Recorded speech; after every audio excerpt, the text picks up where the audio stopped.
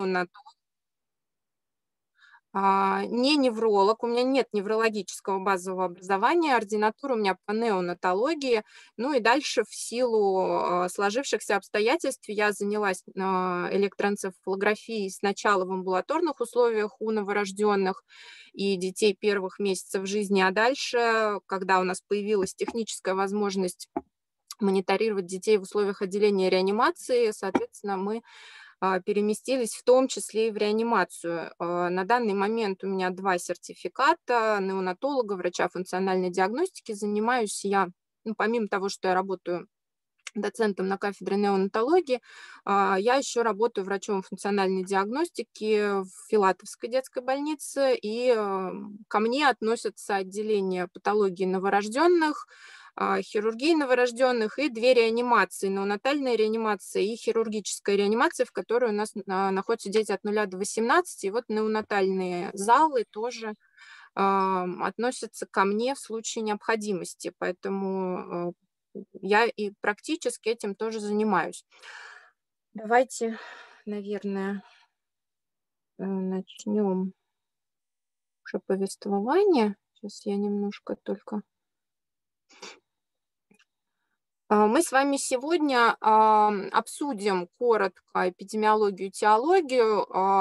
Было предложение не касаться и теологии, однако а, я думаю, что я объясню в процессе, почему все-таки вопросы теологии а, мы поднимем в том числе сегодня. Думаю, что это станет понятно в процессе повествования. А, трудности клинической диагностики, современную классификацию. Я знаю, что была у вас отдельная встреча по классификации неонатальных судорог, однако все-таки без этого обсуждать неонатальные судороги невозможно, поэтому мы к этому вернемся быстро и обсудим особенности ЭГ-паттернов неонатальных судорог в зависимости от гестационного возраста. Что касается а, вопросов, которые предварительно, да, когда только мы планировали, задавались в чат, а, задавались вопросы нормы, коллеги, это невозможно, к сожалению, впихнуть вот в одну какую-то встречу. Норма будет очень сильно отличаться у детей. Буквально каждые две недели меняется картинка на энцефалограмме, поэтому э, думаю, что если это интересно и актуально, то этому надо тогда отдельную встречу просто посвящать именно вопросам нормы и созревания. Вот, а сегодня мы коснемся именно ЭГ-паттернов неонатальных судорог. А, напомню вам, что неонатальные судороги – это возрастзависимое состояние, они типичны именно для неонатального периода, то есть это первые 28 дней жизни для доношенных новорожденных и до 44 до 44 недель постменструального возраста у недоношенных детей. И чаще всего с ними встречаются именно неонатологи, а, до неврологов эти дети либо доходят позже, либо это те неврологи, которые смотрят детей в неонатальных отделениях. А неонатальные судороги отличаются от судорог у детей старшего возраста и взрослых, и по тому, а, зачастую, как они проявляются, и по тому, как они себя ведут, и по тому, как они выглядят на ЭЭГ, и как они а, ведут себя в динамике. То есть большинство неонатальных судорог поскольку являются симптоматическими, полностью вылечиваются. Да, мы говорим о том, что у этих детей риск выше последующего неблагоприятного исхода, однако а, риск не значит его реализацию. Тотальные судороги – один из главных маркеров тяжести церебрального повреждения у новорожденных и а, наиболее часто ургентно-неврологическое состояние в неонатальном периоде, на которое мы должны реагировать и а, менять свою тактику. Частота в разных публикациях очень э, сильно отличается. Э, цифры от 1 до 5 или от 1 до 6 на тысячу не меняются десятилетиями, и в принципе, это справедливо для общей популяции новорожденных детей и для популяции доношенных. Что касается недоношенных, особенно детей с очень низкой, экстремально низкой массой тела, то здесь цифры будут очень разные в зависимости от исследования, а, в котором эти цифры звучат. А, почему так? Ну, во-первых, эти цифры в любом случае выше, потому что здесь идет уже речь не о а, каком-то количестве на тысячу, а о процентах.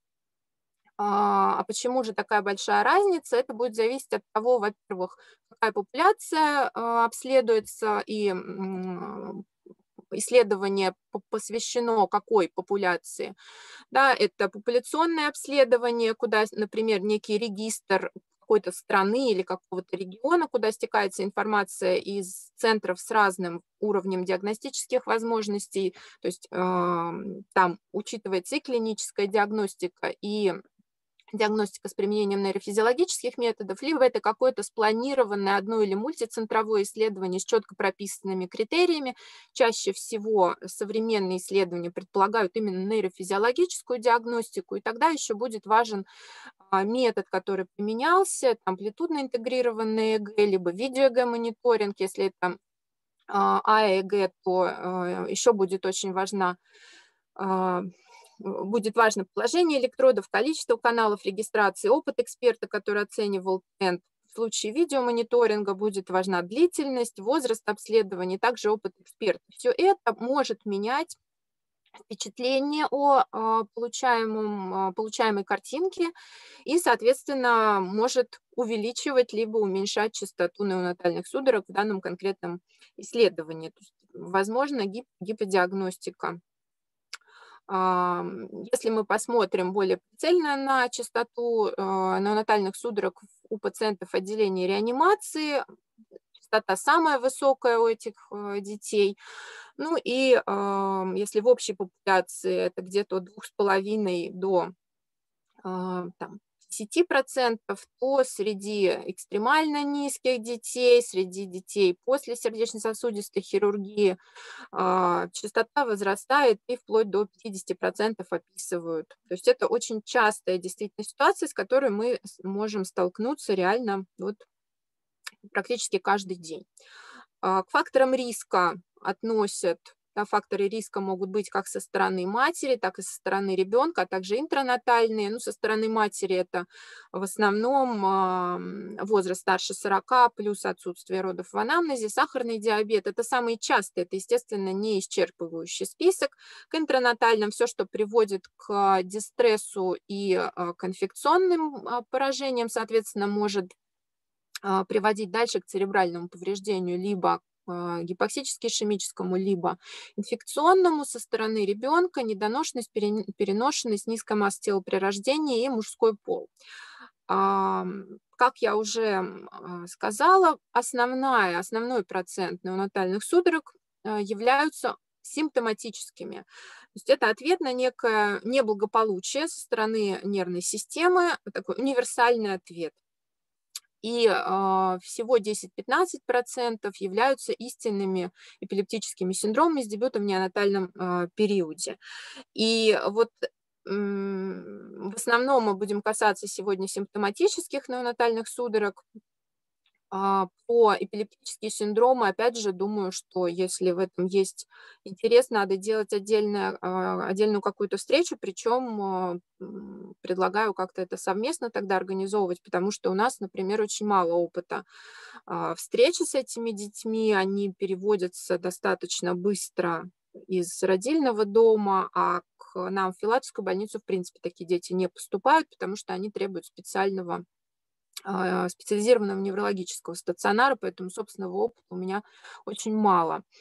А, что касается этиологии, больше, а, самый большой процент – это гипоксические ишемические повреждения, в случае доношенной гипоксической ишемической энцефалопатии, но, безусловно, свой вклад вносят и инфекционные повреждения, инфаркты, инсульт, метаболические нарушения, как а, транзиторные, так и врожденные нарушения метаболизма, а, ну и, безусловно, генетическая патология и мальформации церебральные. В зависимости от гестационного возраста те либо иные этиологические факторы будут встречаться чаще либо реже. У доношенных э, наиболее частыми, если мы берем обзорные публикации, то э, наиболее частыми э, этиологическими факторами являются как раз гипоктическая ишемическая энцефалопатия, инфаркт, инсульт.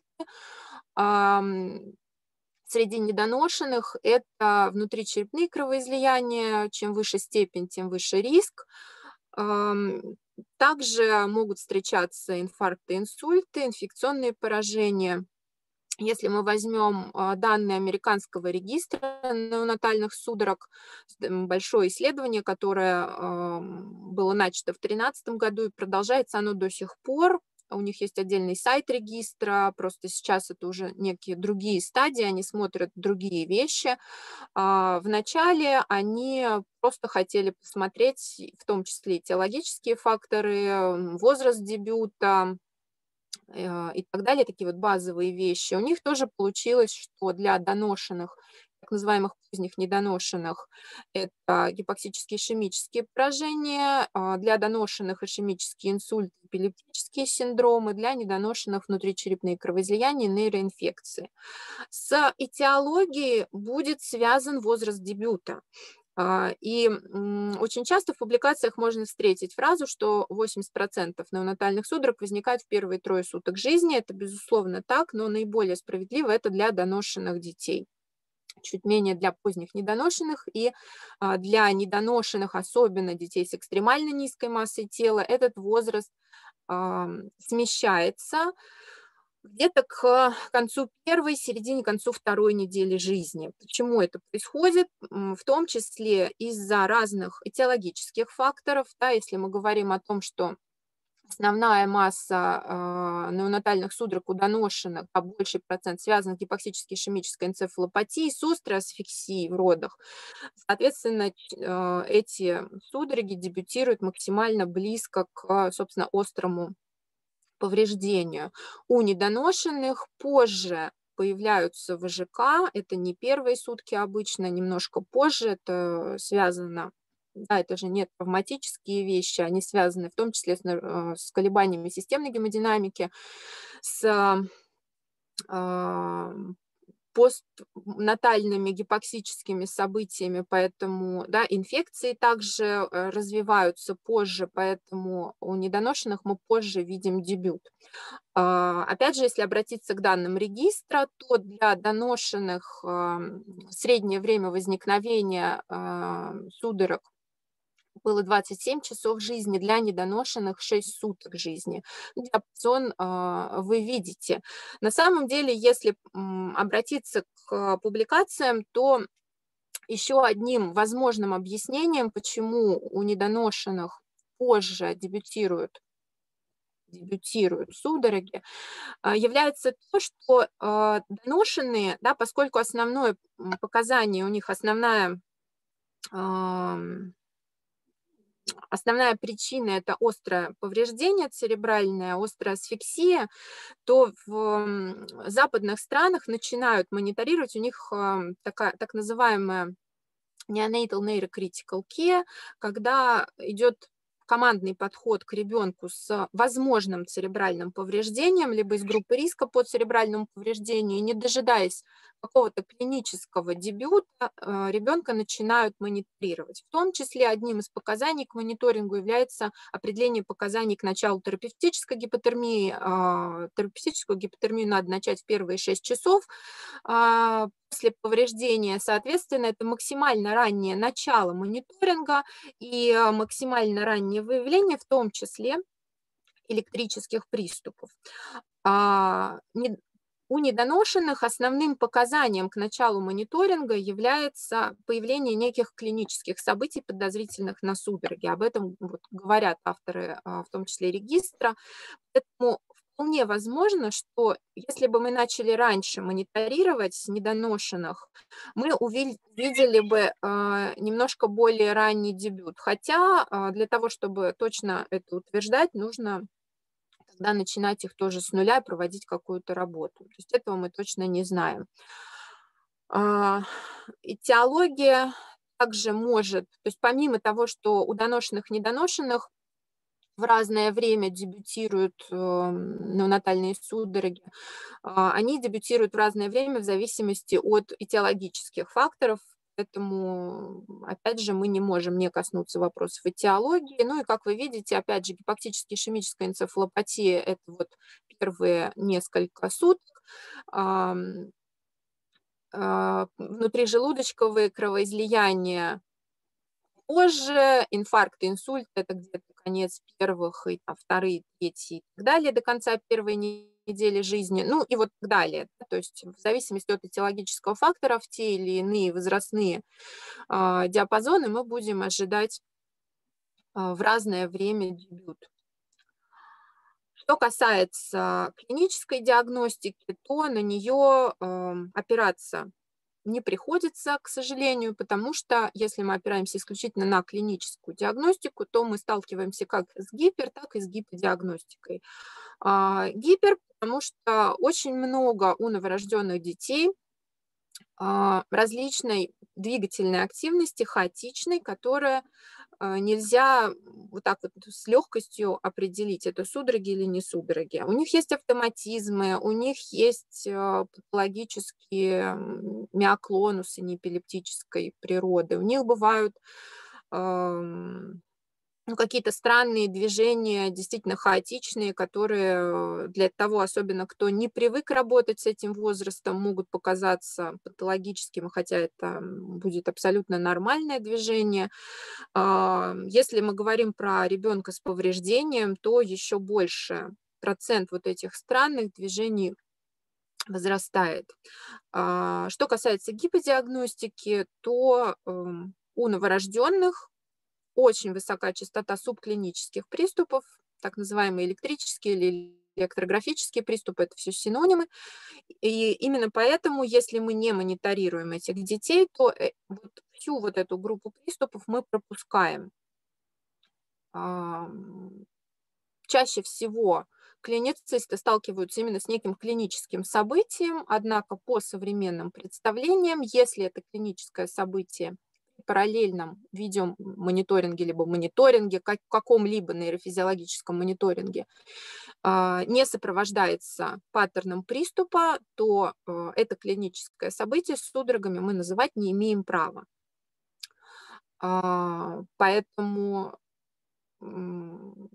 клинически, если мы не мониторируем ребенка в этот момент и видим какое-то клиническое событие, наша задача начать мониторинг.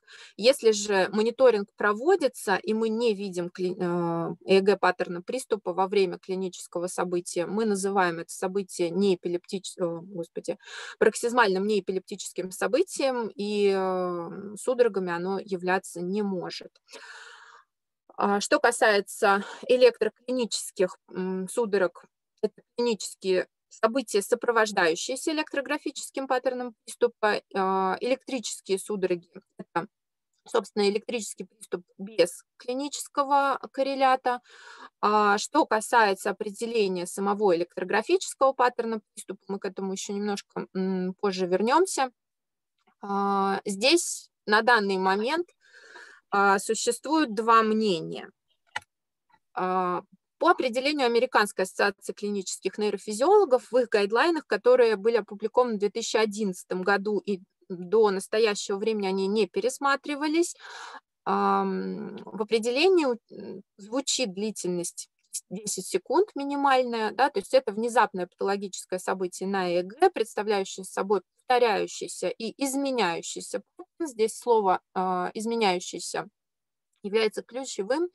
Минимальная амплитуда 2 микровольта от пика до пика и длительность 10 секунд э, вот в определении Американской ассоциации клинических нейрофизиологов. Что касается современной э, классификации неонатальных судорог противоэпилептической лиги, да, вот публикация, которая была в начале февраля этого года, они исключили длительность 10 секунд из определения, но они э, говорят о том, что длительность должна быть достаточной для того, чтобы увидеть эволюцию. То есть если мы не видим эволюции, мы это э, событие электрическим паттерном приступа называть не можем в любом случае. Если мы говорим про клиническую диагностику, то э, по данным разных авторов, и на самом деле а, не обращайте внимания на 89 год, потому что эти работы повторяются. Да, Марк Шер – это такой классик э, неонатальной, ЭЭГ, неонатальных судорог, вообще неонатальной неврологии. А, эти работы повторяются из десятилетия в десятилетие, и цифры примерно остаются теми же, ну, по крайней мере, они остаются такими же высокими. Если мы опираемся исключительно на клиническую диагностику, то до 80-90% того, что клиницисты расценивают как судороги, на самом деле при параллельной регистрации ЭЭГ таковыми не являются. Вот это классическая работа э, группы Джералдин Бойлан, когда 20 видеоклипов, на которых были э, заведомо на 11 судороги, на 9 э, несудорожные феномены двигательные, э, были представлены для оценки большому количеству медицинских медицинского персонала. 91 врач, э, там было очень много анестезиологов, реаниматологов, неонатологов, педиатров. И 46 медицинских сестер, а, тоже очень опытных, а, работающих с этой группой детей, а, и попросили их эти видеоролики посмотреть и оценить, судороги это или не судороги. И всего 10 из 20 событий в среднем были верно интерпретированы, при этом была очень низкая согласованность между исследователями, наиболее часто правильно были определены фокальные клонические и чуть реже фокальные тонические судороги. Все остальные типы приступов равно вероятно оценивались как судороги или не судороги, то есть ошибочно либо правильно. А, в дальнейшем та же самая группа авторов решила сначала обучить персонал одного конкретного отделения, как могут выглядеть судороги, и потом попросить их а, в прикроватной документ, медицинской документации, да, в прикроватных каких-то листах отмечать когда они считают, что э, вот это судороги, а вот это не судороги. Параллельно всем этим детям проводился видеоэго-мониторинг. И когда сопоставили данные отметки в прикроватных листах с данными видеоэго-мониторинга, оказалось, что 9% всех электрографических событий, судорог, всего 9% сопровождались клиническими проявлениями, которые отмечались а, в медицинской документации. Да, то есть еще 91% событий был пропущен. С другой стороны, 73% профессиональных событий, которые отмечались персоналом, а, то есть клинических каких-то событий, которые были расценены клинически как судороги. На самом деле коррелята на ЭГ не имели и э, судорогами называться не могли. Таких работ очень много. Э, работа э, американская, а, то же самое, большая группа новорожденных, проведен видеогомониторинг, здесь входили и доношенные, и э, поздние недоношенные, более глубоко недоношенные. У 105 из этих 400 детей отмечались электрографические судороги, при этом у четверти они никогда не сопровождались клиническими проявлениями. С другой стороны, а, у 52 из этих 400 клинические события, которые расценивались как судороги, на самом деле ЭГ-коррелята не имели. То есть вот все равно процент ошибки, он достаточно высок. Если мы говорим про э, субклинические судороги вообще, то это тоже данные американского регистра. А, они показали, что хотя бы один эпизод субклинических судорог с примерно равной частотой встречается как у доношенных, так и у недоношенных детей. Если мы говорим про исключительно субклинические судороги, то в их работе а, получилось, что у недоношенных, особенно у глубоко недоношенных, это встречается гораздо чаще, чем у доношенных с статистически значимой разницей. Ну и если вот подвести итог вот этой части, то можно сказать, что до, по данным разных авторов, от половины до 75, 80, иногда 90 даже процентов клинически трактуемых как судороги таковыми на самом деле не являются. А с другой стороны, а, очень а, львиная доля вообще всех неонатальных судорог не сопровождаются клиническими проявлениями, при этом где-то от четверти до трети всех детей вообще никогда не демонстрируют клинического феномена. И еще большой процент детей, у которых э, нет клинических проявлений, это дети с так называемым феноменом электроклинической диссоциации или анкаплинг. А, особенно это типично для применения фенитаина, фенобарбитала. Ну, безусловно, в западных работах речь идет о внутривенных формах, которых у нас нет. Но об этом все равно стоит помнить. То есть, в принципе, любые противосудорожные препараты, которые мы применяем, могут выключать двигательный компонент приступа, либо купировать его, а, при этом будет электрический э, паттерн сохраняться, однако может меняться амплитуда, э, она будет уменьшаться, и, например, мы можем перестать видеть этот эм, электрический паттерн на амплитудно интегрированный ЭГ, хотя до этого мы его видели. Поэтому э, с этим тоже нужно быть аккуратными. Что касается классификации, а, всегда хорошо что-нибудь классифицировать так, чтобы говорить на а, одном языке. И попытки классифицировать неонатальные судороги предпринимались давно. Классификация Вольпе, 70-й год. И а, на самом деле вот очень часто до сих пор продолжают в нашей стране ей пользоваться, хотя на самом деле она имеет уже исключительно историческое значение, потому что э, даже тогда Вольп говорил, что для ряда клинических феноменов нетипичная ЭГ-корреляция. Соответственно, э, зачем тогда э, включать эти феномены в классификацию неонатальных судорог, э, если сейчас нам известно, что ну, принято так как факт, что если у нас нет эго-коррелята, судорогами мы это не называем. При этом еще часть, э, да, здесь вообще не звучат в этой классификации электрические приступы, а они занимают львиную долю всех неонатальных судорог. Да, здесь не звучат э, спазмы, поэтому стало понятно, что классификацию надо менять. В 1987 году э, Мизрахи Келловой э, предлагают свою классификацию, сюда включаются уже спазмы отдельным пунктом, включаются электрографические судороги без клинического приступа. Однако, если вы читаете вот второй пункт, да, это тоже судороги без стойкой ассоциации или с отсутствием эпилептической активности э, на энцефалограмме.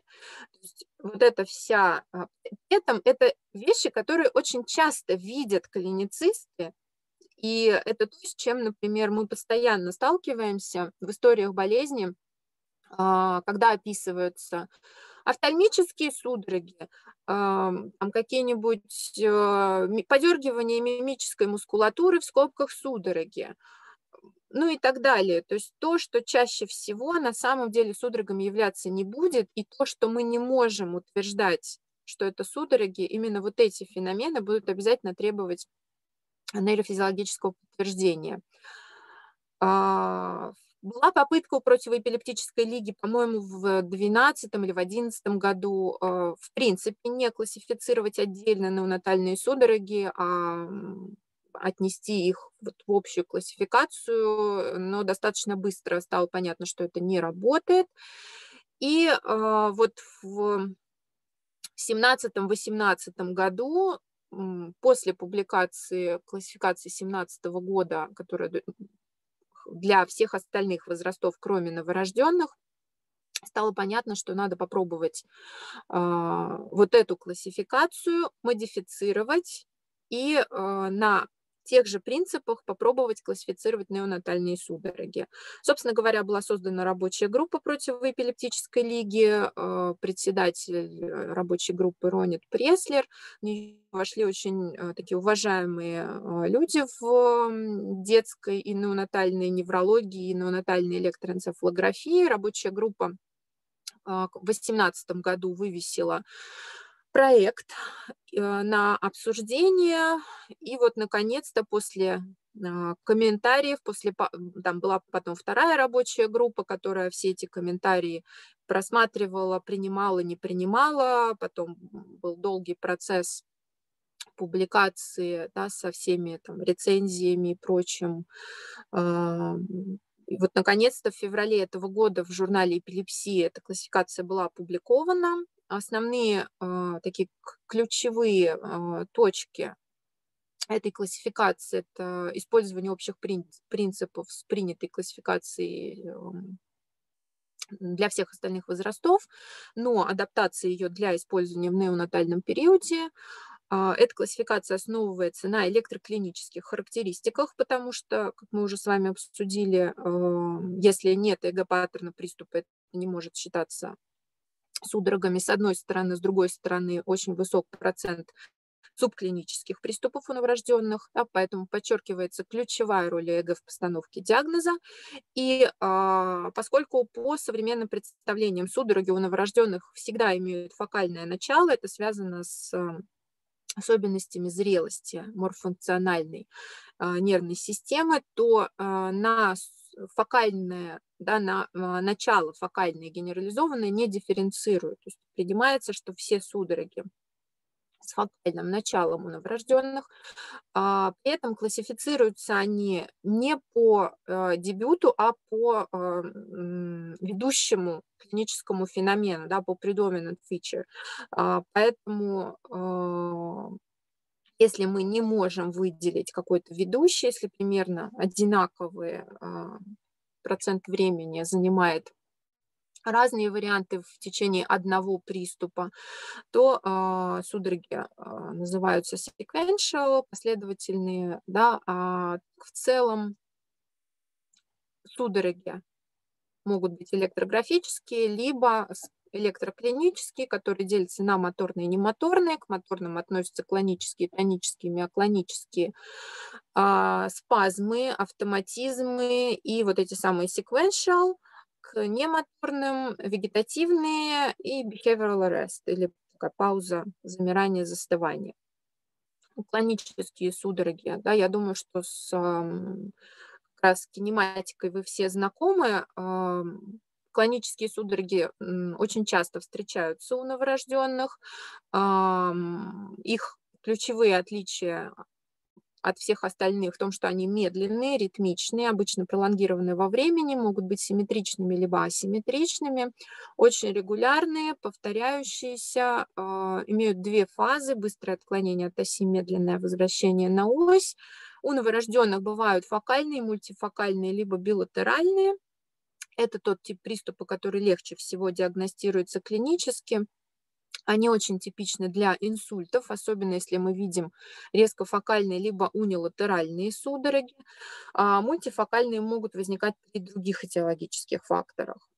А, это тот тип приступа, который противоэпилептическая лего допускает, особенно в случае фокальных клонических а, приступов, а, допускает диагностику без нейрофизиологического обследования, потому что в диагностике клонических судорог очень редко ошибаются доктора, но, конечно, все равно надо учить неонатологов, как выглядят эти судороги, потому что, ну вот, а, я могу вам сказать, что поскольку у нас кафедра неонатологии,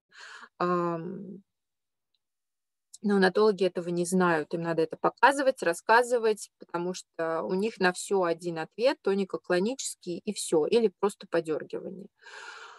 А, следующий вариант – это миоклонические судороги, а, непроизвольные, непровоцируемые сокращения мышц или мышечных групп, внезапные, резкие, короткие, а, неритмичные, могут быть одиночными либо множественными, могут быть серийными, с очень вариабельной топографией, ну вот как у этого младенца на видео. Они могут быть фокальные, мультифокальные, билатеральные, асимметричные или симметричные. При этом помимо миоклонических судорог у новорожденных мы можем видеть неэпилептический миоклонус патологический, можем видеть доброкачественный неонатальный миоклонус сна. Поэтому для того, чтобы дифференцировать миоклонические судороги от неэпилептического миоклонуса, необходим ЭЭГ-мониторинг, предпочтительно с каналом миографии. Они очень часто встречаются у недоношенных новорожденных. Если же мы говорим про доношенных, то они типичны для а, врожденных нарушений метаболизма, для ранней миклонической энцефалопатии и э, практически никогда у доношенных не являются проявлением симптоматических судорог. Тонические судороги тоническое разгибание или сгибание туловища или конечностей, длительность от э, нескольких секунд до одной реже нескольких минут. У новорожденных могут быть фокальными, односторонними, либо билатеральными, асимметричными. Здесь ключевое именно асимметричные, потому что если мы видим что-то генерализованное абсолютно симметричное, да, тоническое напряжение, то это совершенно точно э, к судорогам отношения не имеет. Об этом пишет противоэпилептическая лига в своей публикации. Э, тонические судороги э, тоже типичны в основном для эпилептических энцефалопатий. Редко бывают, практически, не, ну, очень-очень редко они бывают э, проявлениями симптоматических неонатальных судорог. Эпилептические спазмы э, очень редко встречаются у новорожденных, но иногда бывают внезапное сгибание, разгибание или э, сочетание мышц туловища проксимальных отделов конечностей, более длительный, чем миоклонические, но э, короче, чем 4 секунды то есть короче, чем тонические. А, их бывает очень сложно дифференцировать а, от миоклонических у новорожденных без канала а, ЭМГ. Они бывают очень короткими и просто вот в качестве одиночных спазмов, хотя могут возникать и в виде серий. Э, варианты односторонние, билатеральные, симметричные, билатеральные, симметричные, и а, могут возникать ограниченные формы. Это гримасы, кивание головой, стертое движение глаз. А, как я уже сказала, у новорожденных мы очень редко сталкиваемся со спазмами, а, и спазмы не встречаются практически никогда. А, ну, во всяком случае, мне не встречалось даже в публикациях, чтобы спазмы были проявлением симптоматических судорог. То есть, если мы видим спазм, мы ищем какую-то другую причину чаще всего генетическую, либо врожденное нарушение метаболизма. Автоматизмы Автоматизмы а, это более или менее координированная, повторяющаяся стереотипная моторная деятельность. Они бывают оральные автоматизмы, бывают вот такие вот движения типа а, педалирования, езды на велосипеде, пловцов. Да, ну вот данный видеоролик, например, приложение к статье, где было доказано, что вот это вот приступ а, у ребенка ему проводили мониторинг. В то же самое время без ЭЭГ вот такие вот феномены а, однозначно оценить, судороги это или не судороги, мы никогда не можем, поэтому э, в случае подозрения, что автоматизм это судороги, обязательно нужно ЭГ-подтверждение. И автоматизмы очень редко являются единственным типом приступа.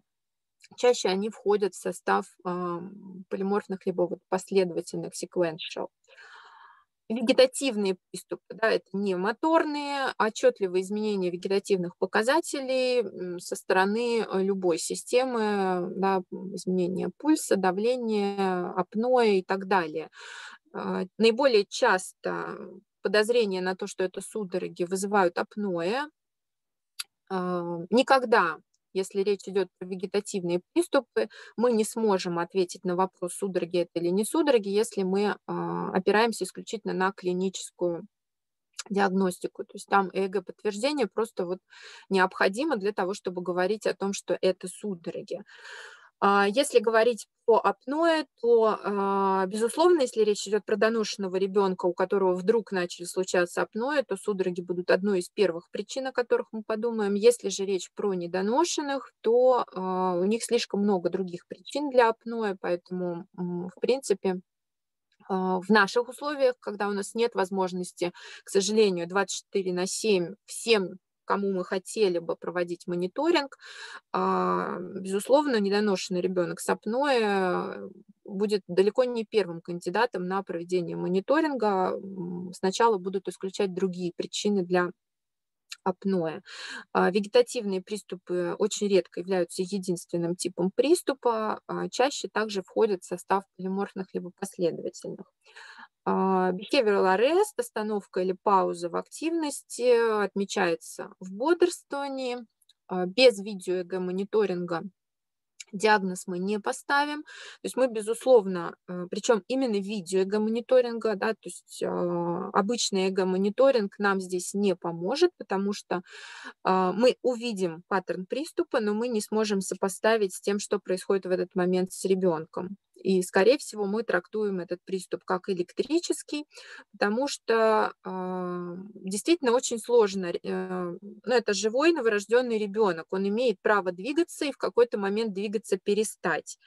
И обычно это не вызывает никаких подозрений у того, кто находится в этот момент рядом с ребенком, а, то есть при клиническом наблюдении мы ничего подозрительного не отмечаем. У них не меняется ритм дыхания, у них не меняется пульс, ничего не происходит, кроме того, что вот он двигался и вдруг перестал. В этот момент на ЭЭГ регистрируется электрический приступ. Тоже очень редко является единственным типом приступа у новорожденных. А, ну вот что касается sequential, да, последовательные сочетания различных вариантов в течение одного приступа. Они очень часто включают тонический компонент. Эм, тоже очень часто встречаются при эм, эпилептических энцефалопатиях, врожденных нарушениях метаболизма, хотя могут быть и проявлениями симптоматических судорог. Ну и а, последний вариант – это электрографический приступ. Эм, как он выглядит на ЭЭГ, мы с вами обсудили, и сейчас еще картинки тоже обсудим. Соответственно, это ЭЭГ паттерн приступа, который не сопровождается ничем клинически. При этом а, в неонатальном периоде к этим судорогам относятся точно так же, как к любым электроклиническим, то есть их начинают лечить. Что касается, да, снова возвращаясь к вопросу, почему мы говорим про этиологию сегодня, потому что э, было показано, и об этом говорят и противоэпилептическая лига вот в своей публикации, касающейся судорог, и э, другие исследования, вот одно из них, что э, ориентируясь на тип приступа мы можем действительно а, направлять наш диагностический поиск в какую-то более узкую область, потому что, например, вот в данной работе, когда сравнили, да, здесь было 40 детей с симптоматическими судорогами и 20 с доказанными генетическими эпилепсиями, и постфактум посмотрели, какие же у них были варианты а, клинических признаков, а, приступов, оказалось, что миоклонические судороги и а, тонические судороги встречались исключительно в качестве проявлений генетических, либо рожденных нарушений метаболизма. А, миоклонические очень редко, да, вот там единичные случаи были а, при проявлении гипоксической ишемической энцефалопатии. Да, а, тонические ни в одном случае не являлись симптоматическими. Что касается клонических, то и электрических, обратите внимание, какая большая доля электрических приступов у детей с гипоксической ишемической энцефалопатией. При этом электрические приступы практически никогда не встречаются как проявление а, эпилептических энцефалопатий, то есть там всегда а, есть клиника. Поэтому, зная тип приступа, а, в принципе, мы можем действительно думать, в какую сторону нам быстрее и поглубже копнуть для того, чтобы быстрее найти причину. А, что касается диагностики, нейрофизиологической диагностики, а, на данный момент нам доступно два метода, многоканальный ЭЭГ-мониторинг и видеомониторинг, а, золотой стандарт диагностики судорог, минимальные неонатальные монтажи ставятся по схеме 10-20, да, но вот минимальный здесь показан принципе, если позволяют размеры головы и технические возможности а, системы, то а, можно ставить и больше электродов. Больше электродов, более точная оценка. Параллельная видеозапись также позволяет нам более точно оценить, легче распознать артефакты. К недостаткам относятся необходимость в ЭГ-технике для того, чтобы правильно наложить электроды. Ну и, а, безусловно, для интерпретации требуется нейрофизиолог со специальной подготовкой в неонатальное ЭГ. Второй метод, который нам доступен, это а, амплитудно интегрированное ЭГ. А, у этого метода тоже есть свои преимущества и недостатки. К преимуществам относится малое количество электродов, их обычно либо одна пара, либо две пары. Соответственно, их легче наложить быстрее, менее а, так, стрессово для ребенка, проще для того, кто это делает. Обычно на Западе это делают прямо медицинские сестры отделений неонатальных реанимаций. В наших условиях чаще всего это делают врачи, неонатологи, реаниматологи. А, проще оценить, потому что оценивается тренд, этот метод считается не экспертным, для него не нужен нейрофизиолог этому. Также, а, опять же, на Западе и медицинские сестры оценивают этот тренд. А, у нас эм, это должен делать врач неонатолог, врач, а, неонатальных реанимаций. К недостаткам относится низкая чувствительность специфичность для диагностики судорог. А, почему? Сейчас продемонстрирую. Это связано с возможностями, да, э, связано это с тем, что этот метод основан исключительно на колебаниях амплитуды. Он не учитывает больше вообще ничего. Ни частоту, ни форму волны. А, то есть исключительно изменения амплитуды, которые формируют вот эту синюю полосу, вот этот тренд. Если же мы смотрим, как могут выглядеть э, судороги на неонатальный ЭЭГ, то а, да, у доношенных и поздних недоношенных действительно мы можем видеть типичные комплексы спайк-волна, острая медленная, а, повторяющиеся острые волны и спайки. Однако, если мы посмотрим на недоношенных, то у них вот такую активность мы увидим крайне редко. Вообще считается, что а, генерация спайков тем более вероятно, чем а, больше постменструальный возраст ребенка. То есть глубоко недоношенные спайки нам будут демонстрировать ну, в каких-то эксклюзивных случаях. Чаще всего мы будем у них видеть ритмичную дельта-активность, тета-активность. А, можем видеть ритмичную альфа-активность. При этом а, ключевым является то, что а, паттерн электрического приступа меняется с течением времени, то есть он эволюционирует, а, он может значительно отличаться в начале, в середине и в конце приступа, при этом он имеет четкое начало, четкое окончание. И обратите внимание, что эм, могут быть очень-очень низкоамплитудными эктальные паттерны особенно у недоношенных детей, да и у доношенных в критических состояниях, когда амплитуда в целом снижена и амплитуда приступа тоже может быть очень-очень низкой. Поэтому если метод основывается, да, в качестве, как амплитудно интегрированный ЭГ, основывается исключительно на колебании амплитуды, а амплитуда приступа не отличается от амплитуды фона, то э, метод просто по своим возможностям не может этот приступ выявить и показать нам на тренде. Ну вот смотрите, а, да, привычная глазу тех, кто работает с другими возрастами картинка, типичные комплексы а, пик-волна, которые длятся долго, будут меняться со временем, если несколько экранов посмотреть. То есть здесь, в принципе, вряд ли кто-то э, ошибется в диагностике.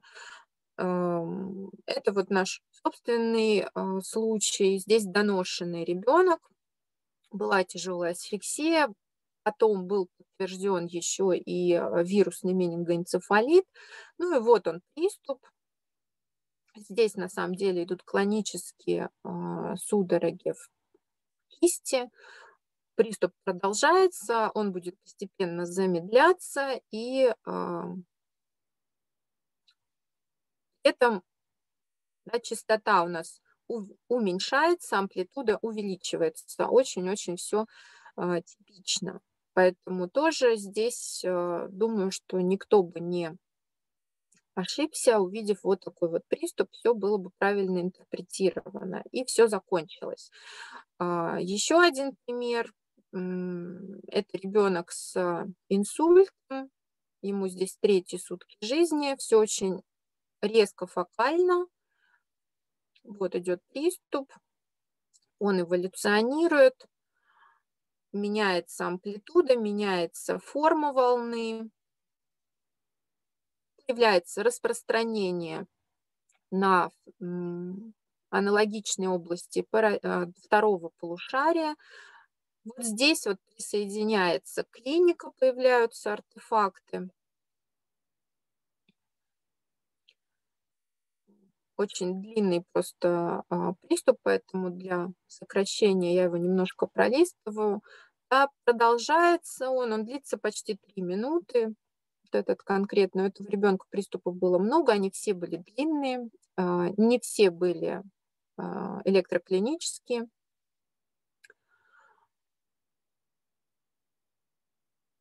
Он продолжает замедляться и заканчивается. Возможно, вот такие варианты, да, когда у нас есть ритмичная медленная активность. Иногда мы можем видеть маленький спайк, иногда мы его даже и не будем видеть. И постепенно тоже э, эволюционирует приступ.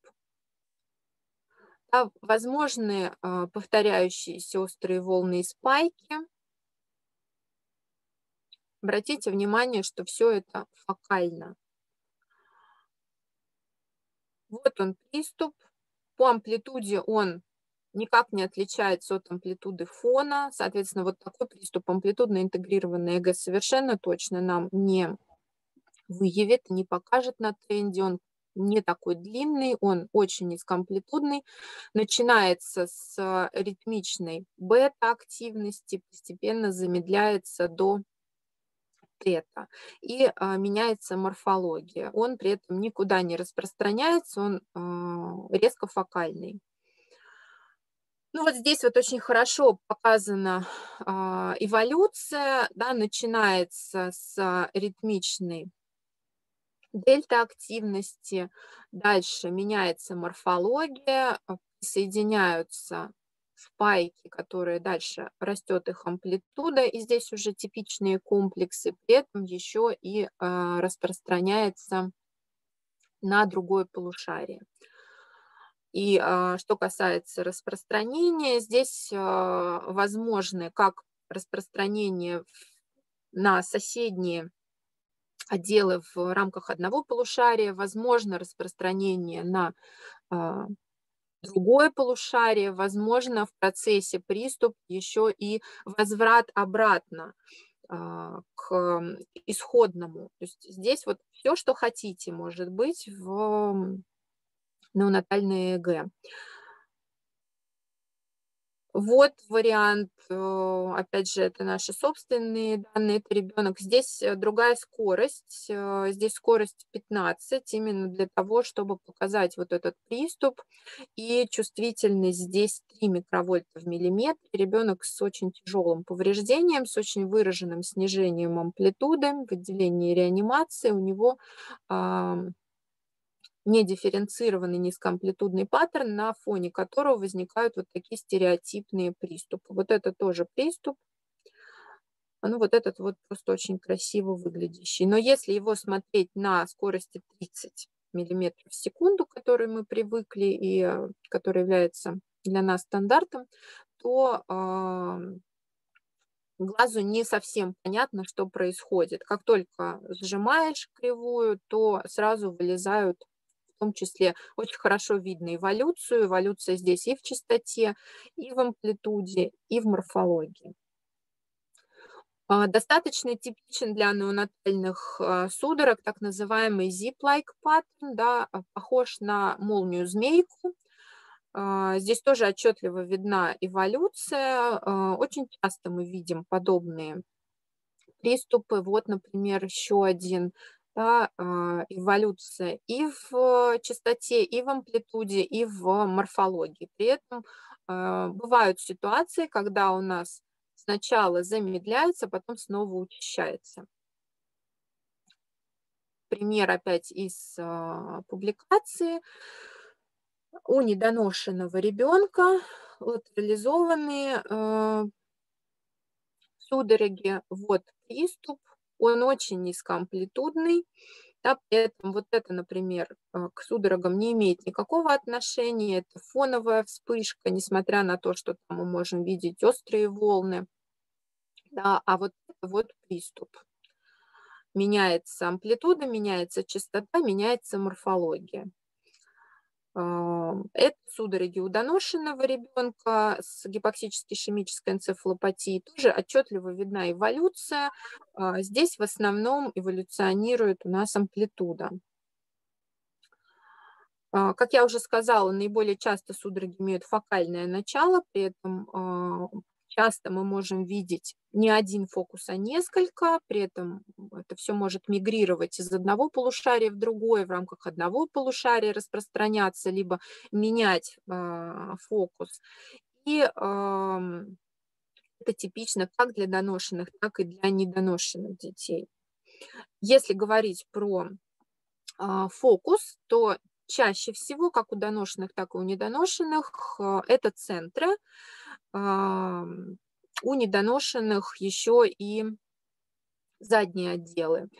Если говорить про фронтальные либо затылочные, то э, это гораздо реже, особенно фронтальные. То есть если по каким-то, то есть если мы зарегистрировали многоканальную ЭГ и нашли что-то во фронтальных отделах, то прямо надо прицельно поискать и не ультразвук ему провести, а все-таки задуматься о МРТ и поискать э, какие-то изменения на МРТ в этих отделах, потому что это очень редкая локализация, особенно если мы говорим про недоношенных детей. А, несколько слов про амплитудно интегрированную ЭГ, потому что у неврологов это обычно вызывает затруднения, потому что они не сталкиваются с этим методом. Да, иногда можно услышать, что ну да, этот метод может применяться в отделениях патологии новорожденных. Нет, коллеги, этот метод, э, метод для реанимации. В патологии новорожденных мы им пользоваться не можем, просто потому что будет слишком много артефактов двигательных, от манипуляций, да, то есть э, там ребенок гораздо более активен, и э, поскольку этот метод не сопровождается параллельной видеозаписью, хотя сейчас вот наши отечественные производители пытаются на основе своих многоканальных систем создать малоканальные системы и добавить в них параллельную видеозапись, но вот пока что это не очень удачно как-то работает, занимает очень много места, не очень удобно для персонала отделения реанимации и, в общем, такой недружественно к пользователю чаще всего, поэтому а, реаниматологи либо не включают это видео, а, либо, в принципе, не могут пользоваться аппаратурой, потому что она быстро выходит из строя. Классические аппараты АЭГ очень просты для пользователя, это принципиальная позиция производителей, именно потому что они не экспертные, ими должен мочь пользоваться любой сотрудник отделения реанимации, включая медицинских сестер. Да, а, вот этот тренд, вот эта нативная кривая, а, Здесь несколько часов записи, скорость можно менять, но в среднем обычно 3 часа на экране, здесь 10 секунд. Вот вот подъем нижнего края будет подозрителен на судороге, то есть это увеличение минимальной амплитуды. А, в этот момент можно поставить маркер, э, не маркер, а вот э, вывести сюда курсор и развернуть нативную кривую в этот момент и посмотреть, что же на самом деле происходило вот э, в момент, когда поднялся нижний край. При этом, если мы говорим про низкоамплитудные паттерны, то они совершенно точно будут пропущены, потому что, а, да, вот как в этом примере здесь эм, выведено на экран многоканальный ЭЭГ только те отведения, по которым был приступ, вот он, ритмичные повторяющиеся острые волны и спайки с замедлением постепенным. А, на амплитудно интегрированной ЭГ в этот момент ничего а, не отмечалось, никаких подъемов нижнего края. А, и, в принципе, была проведена работа австралийскими коллегами, такой метаанализ, в который было включено исходно 13 исследований, 10 вошли в окончательный метаанализ, было показано, что э, исследования эти показали вариабельную, но в целом низкую чувствительность, специфичность метода АЭГ для диагностики неонатальных судорог, и как единственный и основной этот метод не может быть рекомендован для диагностики неонатальных судорог. А, дальше та же группа авторов провела свое собственное исследование, когда они параллельно проводили одному и тому же ребенку как АЭГ, так и многоканальный видеомониторинг. И было показано, что для выявления пациентов с судорогами, в принципе, этот метод допустим. У него не такая уж низкая чувствительность, а, хотя специфичность оставляет желать лучшего. А вот для выявления отдельных эпизодов судорог этот метод не подходит, потому что, как вы видите, чувствительность была всего 34%, и э, специфичность также была низкая и очень высокая э, ложно-позитивная диагностика. Ну вот в качестве примеров они приводят э, такие вот э, сопоставления. Да, вот он приступ, типичный, острая медленная волна, все красиво и классически. И вот он, да, вот он подъем нижнего края на э, тренде, вот она развернутая в этот момент нативная кривая, и здесь все тоже классически, так же, как и на многоканальном мониторинге. Э, здесь вот подъем нижнего края, если развернуть, мы видим какую-то ритмичную активность, очень стереотипную. Нам даже может казаться, что здесь есть э, суперпозиция острых волн э, или спайков. Но если мы посмотрим на да, при этом здесь все очень правдоподобно выглядит, но если мы э, посмотрим на многоканальную кривую, то э, это совершенно точно артефакт. Э, никакой эволюции здесь нет, э, поэтому это вот такая ложноположительная, а, пример ложноположительной диагностики. А вот это пример ложноотрицательной диагностики. Вот он приступ, ритмичные дельта, которые постепенно эволюционируют. Уменьшается амплитуда. Амплитуда в целом приступа, она очень мало отличается от амплитуды фона. Поэтому на а, амплитудно интегрированный ЭГ на тренде мы не видим никакого подъема нижнего края, и даже при а, разворачивании, вот в момент, когда здесь мы видим приступ, нативной кривой на ней мы ничего не видим. Это может быть связано с локализацией электродов. Да, здесь у нас полная раскладка, полная схема 10-20. Здесь у нас всего 4 а, электрода, 2 над левым полушарием, 2 над правым, то есть всего два канала, поэтому мы можем в том числе из-за этого не а, диагностировать вот эти вот приступы. А, соответственно, метод АЭГ у нас возможно и ложно-отрицательная диагностика при использовании этого метода, поскольку сигнал проходит математическую обработку, он фильтруется, потом он проводится компрессия сигнала. А, поэтому короткие приступы могут быть пропущены за счет компрессии. Да, вы видели, что на тренде на одном экране 3 часа записи, низкоамплитудные за счет того, что нет разницы между амплитудой фона и амплитудой самого приступа. Э, фильтрация в диапазоне от, нуля, от 1 до 15 Гц у нас пропускается сигнал, все, что выше у нас а, обрезается, поэтому а, за пределами границ фильтрации все волны также будут пропущены. Ну и если у нас а, фокус далеко от места постановки электрода, то тоже мы пропустим, скорее всего, этот приступ.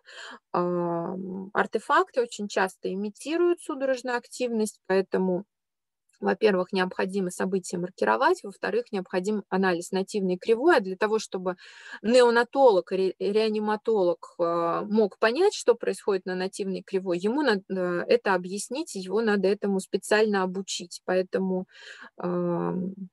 здесь тоже мы часто сталкиваемся с такой вот ложноположительной диагностикой. Ну и вот э, это мой, по-моему, предпоследний или последний даже слайд, а, это то, что предлагает противоэпилептическая лига также в своей публикации, касающейся судорог. А, если у нас есть новорожденные из группы риска по возникновению судорог или с клиническим событием, которое подозрительно, а, первое, что мы должны узнать, возможно ли проведение нейрофизиологического мониторинга. Если да, то какого? Если это многоканальный эго-мониторинг, мы а, его провели и увидели эго-коррелят, то это золотой стандарт диагностики, и мы подтвердили, что это судороги. Если мы провели и а, не увидели эго-коррелята, а, совпадающего с клиническим событием, то опять же, понимая, что это золотой стандарт диагностики, мы говорим, что это отсутствие судорог, да, это не судороги, мы э, не лечим этого пациента противосудорожными препаратами.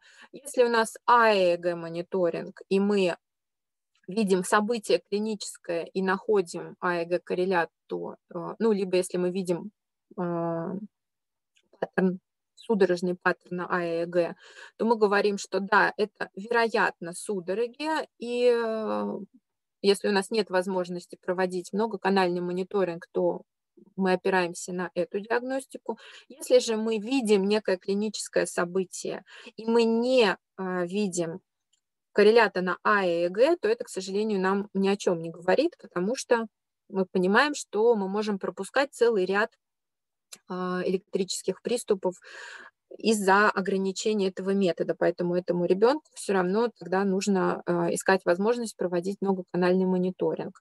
А если же у нас нет возможности провести никакой вид нейрофизиологического мониторинга, то а, возникает вопрос, кто видел то событие, которое нам подозрительно. Если это опытный персонал, и речь идет о фокальных клонических или фокальных тонических судорогах, то э, да, диагноз вероятен, и э, мы начинаем лечить этого ребенка. Если это какой-то другой тип приступов, то, ну, возможно, это судороги, а возможно и нет. И все-таки надо поискать возможность провести э, нейрофизиологический мониторинг. Если же э, вот эти клинические события видел кто-то совсем без опыта в этой области, то, ну, во-первых, надо попробовать показать это более опытному, в идеале все-таки искать возможность проведения мониторинга хоть какого-то, потому что значимость абсолютно недостаточная. Ну и вот это уже совершенно точно мой последний слайд. Я надеюсь, что я вам смогла показать, что а, некоторые типы, да, почему, собственно, я а, все-таки говорила про этиологию сегодня, потому что некоторые типы неонатальных судорог могут быть индикаторами определенных этиологических факторов, и, соответственно, это помощь нам в диагностическом поиске. А, нейрофизиологический мониторинг, безусловно, а, неотъемлемая часть диагностики. Без этого мы даже не имеем права по-хорошему э, говорить о том, что это судороги. Ну и золотой стандарт – это многоканальный длительный видеогомониторинг. Единственное, чего я вам не сказала, э, как-то у меня этот слайд не лег. Опять же, если опираться на данные э, американского регистра, потому что всегда возникает вопрос, как долго надо мониторировать. У нас, к сожалению, а, ну вот насколько мне известно, в России нет ни одного места, где проводилось бы именно новорожденным детям в условиях стационара, особенно в условиях реанимации, 24-часовой мониторинг многоканальный. То есть никакого нейро нейрокритикал care, neonatal нейрокритикал care у нас нет. У нас есть места, где к этому стремятся, и где-то это лучше получается, где-то хуже, но вот а, суточного мониторинга у нас нету. А, возникает вопрос, как долго нужно мониторировать этих детей, чтобы все-таки а, больше шансов было поймать приступ. А, вот в регистре они показали, что в среднем от начала записи до первого паттерна приступа проходит не меньше двух часов, как у доношенных, так и у недоношенных.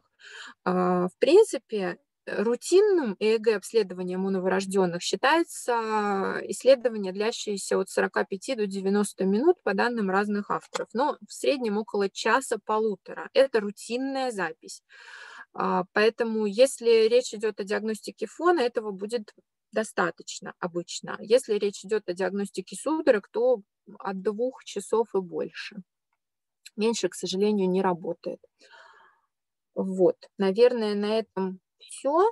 Я сейчас перестану, наверное, демонстрировать.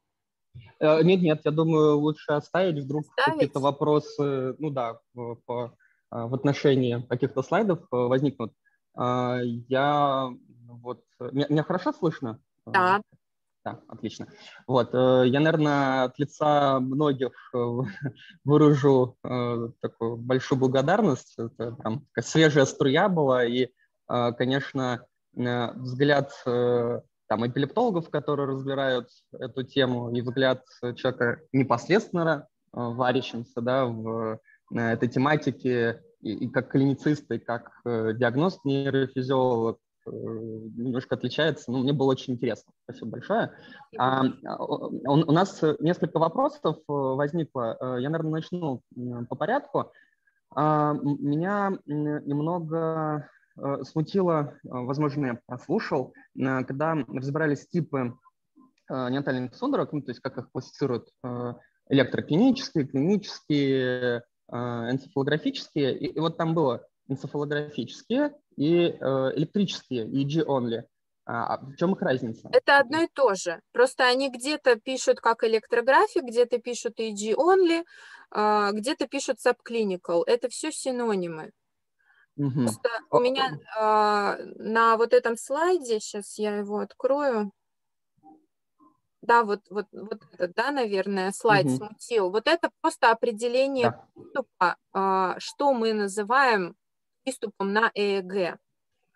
А вот вот э, сочетание электрического и клинического. Э, да-да-да, вот меня смутило, что есть э, отдельно вынесенные электрографические. Это просто определение, что мы называем на энцефалограмме приступом. Окей, окей, окей, я понял. Спасибо большое. А, а, значит, э, ну, наверное, свой первый вопрос в конце задам. А сейчас больше вот про ЭГ а, спрашиваю. Да, да, у меня возник вопрос. Э, конечно, ЭГ немножко отличается от того, что мы привыкли видеть у более старшего возраста детей. Вот э, паттерн приступа у новорожденных э, он не имеет, э, мне показалось, да, вот такой э, дельта эволюции. Да, то есть он может быть э, такие спайки нарастают, нарастают, нарастают, потом раз и abrupt, ну, как бы да. их больше нету. Да? То есть э, мы не ожидаем, например, как э, в дополнение да, к этой эволюции увидеть там последующее замедление. Э, не, мы вообще у них ничего не, у них вообще ничего не ожидаем есть мы у них обычно видим вот, действительно э, резкое начало, э, четкое, вернее, четкое начало, четкое окончание и эволюцию в процессе. И при этом э, нас угу. никогда не и смущает это... э, вот такая вот резкая фокальность. Когда мы это видим только под одним электродом, это для них очень характерно. Никакого замедления. А вот нас смущает. А я понимаю, что вас смущает. Я поэтому на этом акцентирую, что вот для новорожденных э, это очень типично, когда мы видим что-то исключительно под одним электродом. Но, конечно, мы должны быть уверены в качестве записи. И, и в этом очень ага. большая э, роль, если у вас пишут техники или медсестры, это, конечно, э, огромная роль этого техника, достичь качественной записи, чтобы можно было потом оценивать эту кривую и не сомневаться в каждом там, непонятном феномене. Да, ну, логично достаточно. А, следующий вопрос, э, он э, э от Белноза, если я правильно прочитал, прошу прощения за произношение. А, значит, а, нет, неправильно, атерины. Как выглядят паттерны спазмов механических приступов у новорожденных, у недоношенных?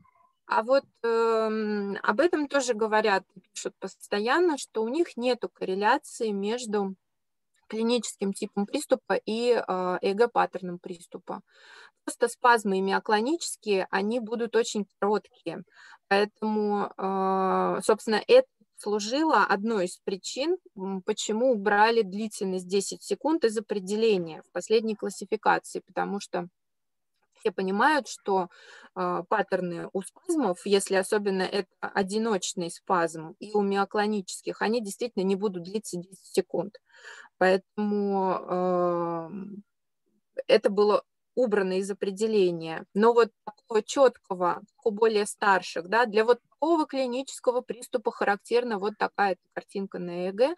У новорожденных угу. такого нет. То есть одинаково может выглядеть э, паттерн приступа при разных клинических событиях. И наоборот, одинаковое клиническое событие у разных детей может выглядеть абсолютно по-разному на энцефалограмме. Ну да, это, а, я думаю, требует что касается, Да, что касается, например, я, я понимаю, что там спазмы, сразу возникает э, вопрос, есть ли у них гипсаритмия. Очень редко э, мы видим гипсаритмию у новорожденных я не видела ни разу, честно вам скажу. Вот того ребенка, которого я вам э, показывала, иллюстрируя спазмы, э, такая в розовом костюмчике mm-hmm. девочка, mm-hmm. она э, формально уже не новорожденный ребенок, ей полтора месяца. Вот у нее была гипсаритмия, были спазмы. Не, но ну, а формально, э, скажем так, старт спазмов начался в период а новорожденности? А мы не знаем, потому что у нее вообще э, спазмов, э, ну как, понимаете, спазмы это для, э, для невролога, э, спазмы это что-то очевидное. Вы их видите, вы понимаете. Для э, неонатолога они вообще спазмы не отличают, их этому надо учить отдельно. А, поэтому вот у этого ребенка показанием к проведению обследования вообще служили другие клинические феномены. У нее были автоматизмы а, по типу а, такого очень оживленного сосательного рефлекса, она сосала свой собственный язык. А спазмы у нее увидела я в процессе проведения Абсолютно. мониторинга. Да, вот, э, поэтому мы не знаем, когда они у нее начались. Подозреваю, что раньше, но насколько раньше, не знаю. Но этот ребенок с множественными врожденными пороками, там еще не было генетического диагноза поставлено, но она обследовалась в процессе, но, к сожалению, дальше у меня про нее нет информации там, по ряду причин. Угу, угу. Вот. Ну, да, понимаю. А, а вот такой тоже интересный вопрос возник. А у взрослых э, эпилептологов э, как бы есть э, такое высказывание, что каждый человек имеет право на один приступ. Да? Mm. А, вот, скажем так, а, эпилептич... мы знаем, что некоторые клинические проявления, да, ну, вот, э, приступ, а, могут быть именно ну, как эпилептический приступ, который не выливается в, в эпилепсию. Ну, то, так можем, например, говорить про фибрильные судороги. Да, у них просто запускается на определенных триггерах приступ. Если триггеров нет или мозг там дозревает, мы потом этого не видим. Собственно, это не удовлетворяет критериям диагноза эпилепсия. Вот у новорожденных такое может быть, что вот мы диагностируем эпилептический приступ, а потом это не равно, что ему придется там длительное время принимать противосудорожные В большинстве препараты. случаев это именно так, потому что, а, собственно, я с этого да, начала, что у них большинство а, приступов являются симптоматическими, то есть это не отдельное заболевание как таковое, да, их выносят э, в отдельную нозологическую единицу, они кодируются, да, натальные судороги кодируются по МКБ-10, по-моему, по 90.0, угу. а, но а, это не отдельное заболевание, это не знак равенства эпилепсия. То есть в качестве эпилептических энцефалопатий, да, как вот отдельное заболевание прямо, а, это бывает, но это бывает очень редко. Чаще всего это именно симптоматические судороги, и как только, по сути, мы справляемся с фактором, который к ним привел, мы справляемся и с судорогами. У них выше риск в последующем развития эпилепсии, чем в популяции. Но риск не значит, что он реализуется. То есть это не значит, что у любого ребенка с неонатальными судорогами дальше сформируется эпилепсия. Далеко нет. Э, это будет зависеть от структурного повреждения, от очень многих там, факторов. Но э, в очень большом количестве исследований было показано, что судороги сами по себе, неонатальные, повреждают развивающийся мозг, независимо от исходного фактора, который, от исходного повреждения. Поэтому мы их не лечить не можем. Мы не можем все силы бросить только на лечение той причины, которая привела к судорогам, как к симптому. Угу. То есть, конечно, мы будем лечить нейроинфекцию, если это нейроинфекция, но и судороги мы тоже будем лечить. Конечно, мы будем э, там проводить ему гипотомию, для того, чтобы бороться, если он подходит по критериям, для того, чтобы бороться с гипоксической ишемической энцефалопатией. Но судороги при этом мы тоже будем лечить. А судороги у них бывают и в процессе гипотомии, и в процессе согревания, и ну, позже уже реже. Вопрос, насколько долго он будет пить препарат, зависит от э, возможностей. И за рубежом, где они используют препараты внутривенные, фенобарбитал и фенитаин в первую очередь, очень часто э, и чаще всего они выписывают ребенка домой уже без терапии. У угу. нас, поскольку эти препараты нам недоступны, и э, более того, в Москве, например, даже перорального фенобарбитала просто нет, он в виде поглюферала совершенно не лучшего да, выбора, в принципе, препарат. Здесь приходится переходить на другие формы, в смысле на другие препараты, и тогда они вынуждены их принимать дольше. Но это зависит уже от невролога. Вот я вам честно скажу, я их не лечу, поэтому вот этих решений я не принимаю. Но угу, угу. То, что это не потребует в большинстве случаев там, пожизненного какого-то или многолетнего приема препаратов, это совершенно факт. Кому-то требуется там, несколько месяцев, кому-то чуть дольше. А, там дальше уже идет контроль в динамике, в том числе а, фоновых характеристик и характеристик патологической активности на ЭЭГ и принимается вопрос неврологом, наблюдающим. То есть этим детям даже эпилептолог зачастую не нужен. Им достаточно невролога, который понимает, что происходит с новорожденным ребенком вот таким поврежденным и как действовать с противосудорожными препаратами. Поэтому мы, например, своих к эпилептологу не направляем, те, которые наблюдаются у нас в катамнезе. А если у них нет действительно там формирования, например, той же гипсаритмии а, более ран... ну, в более позднем в смысле возрасте. И э, если мы у них не видим клинических приступов, то зачем им эпилептолог? Зачем нам нагружать эпилептолога, а, если с этим справится наш невролог, например, наш профессор? Угу. Угу. без проблем. У меня прям э, еще два вопроса возникли mm из э, вашего объяснения. А, и сначала первый задам относительно феноворбитала, потому что был в, в прошлом году и э, к началу этого года э, решение э, постановили правительства о том, что там четыре препарата диазепам, ректальная, букальная медозолам, э, внутривенные формы фенобарбитала и клобазам э, будут по запросу возиться. И если первые три, там, диазепам, медозолам и клобазам у нас там, часть пациентов получила, ну, пройдя определенные бюрократические препоны, а, то я зачастую от неонатологов слышу, что вот фенобарбитала нет, при том, что есть э, э, в этом постановлении прописано, что вот мы его можем дать. А вот Но, вы пробовали как-то? Или в чем проблема мы не, там? мы не пробовали. Насколько я понимаю, это же возится под конкретного пациента. Да-да-да. Вы же никогда не знаете, а, когда и какому пациенту у вас это потребуется. То есть это обычно экстренная ситуация. Вот родился ребенок, у него вообще никто не ждал, что он родится в тяжелой асфиксии. Он родился, ему э, начали мониторинг для определения, например, показаний гипотермии, там обнаружили судороги. Вот ему сейчас надо вводить этот венный фенобарбитал. Да, Поэтому... я понимаю. Вопрос в следующем. Это же требовало, вот, чтобы это постановление появилось, это потребовало некого э, консолидирования да, и со стороны врачей, и со стороны пациентов, и в итоге вот такое постановление получилось. Может быть, у вас э, какое-то консолидирование со стороны неонатологов позволит не под конкретного... Об этом говорят, вы себе не представляете, об этом десятилетиями говорят, о том, что нам необходимы эти формы э, не под конкретного пациента, а вот так, чтобы они были в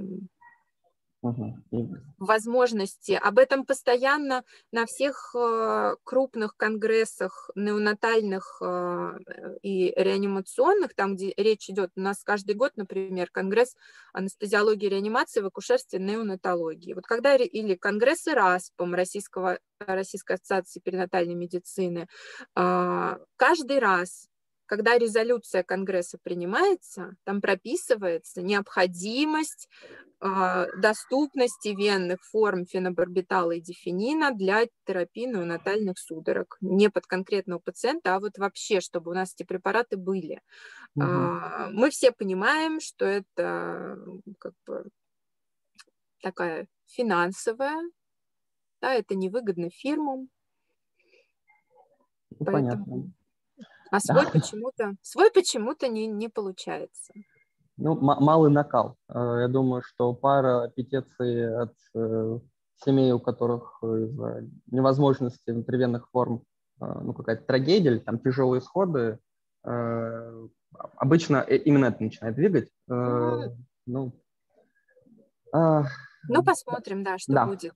Посмотрим. Хорошо, я тогда вернусь к вопросам относительно доклада. Угу. Давайте последние два а, собственно, остальные мы, наверное, перенесем да. уже в следующий доклад.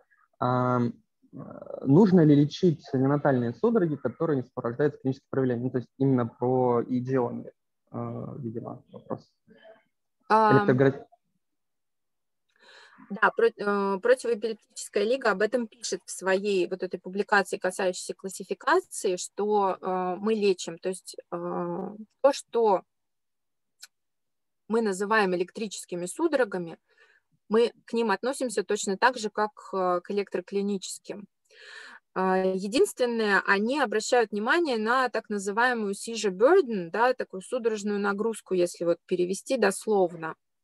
В принципе считается, что если у нас от 30 до 60 секунд за час записи, то вот это уже требует лечения. Если вы записали один 30-секундный приступ – а, за часовую запись, его надо лечить.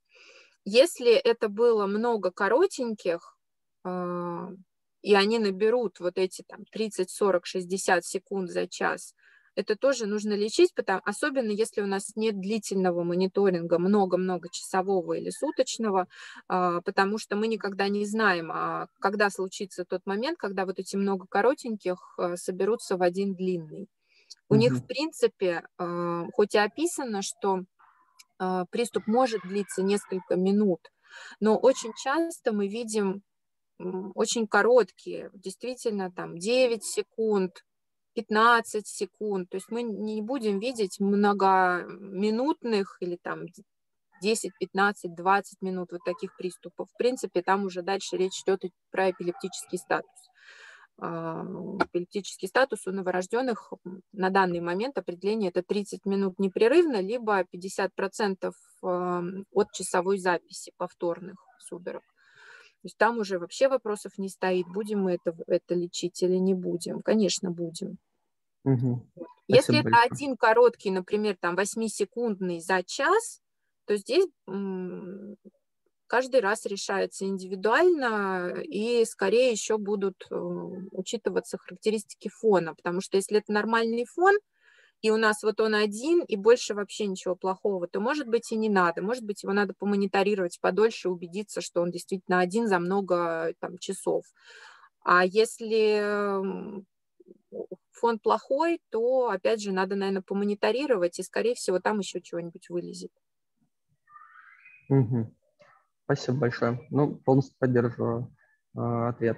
И последний вопрос. Э, еще раз просят уточнить. Если у события, которое вот, э, видно клинически и очень настораживает наблюдателей. Если у этого события нет ЭГ-коррелята, мы никогда не считаем это событие эпилептическим приступом.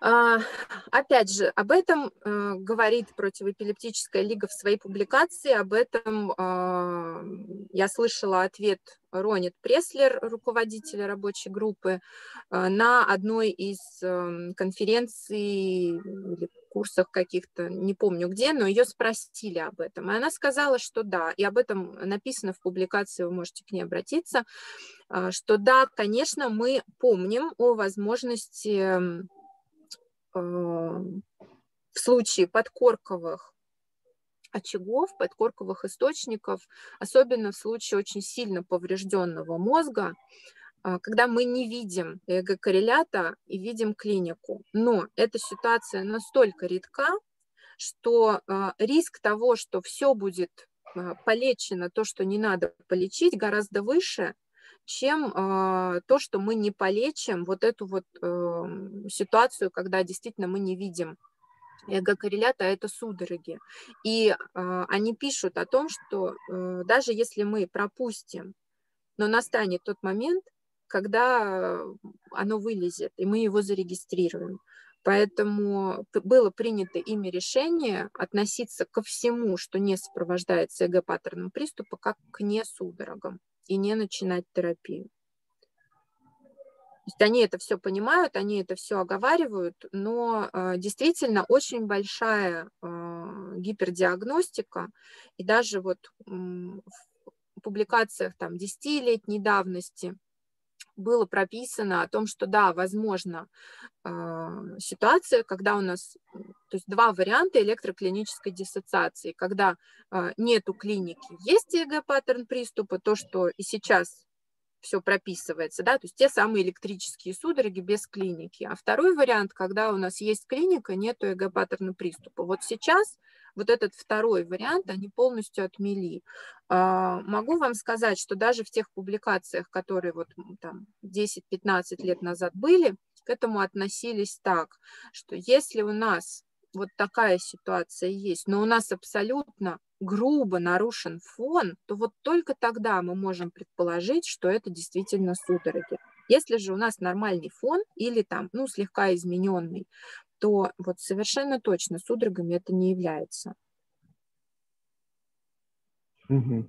Спасибо большое. А, я думаю, мы, наверное, тогда на сегодня а, завершим а, нашу первую встречу. Я еще раз э, благодарю за настолько насыщенную и систематизированную информацию.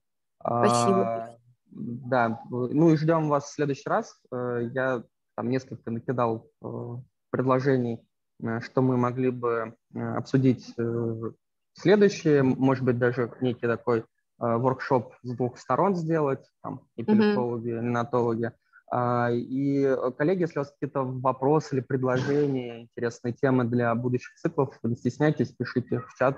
А, мы стараемся отобрать самые интересные.